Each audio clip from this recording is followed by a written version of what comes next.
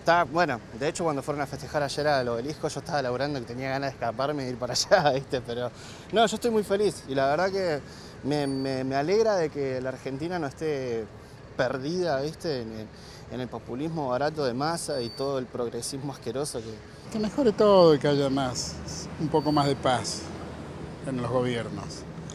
Y no ver cómo se llenan de, de plata los gobiernos de turno y, y la gente sigue siempre igual.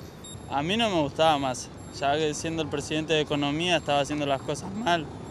Era como que ya estando en el poder no podía generar un cambio y mi ley que está afuera por ahí te convencía un poco más. La verdad que es una gran incógnita, porque bueno, yo personalmente no lo voté.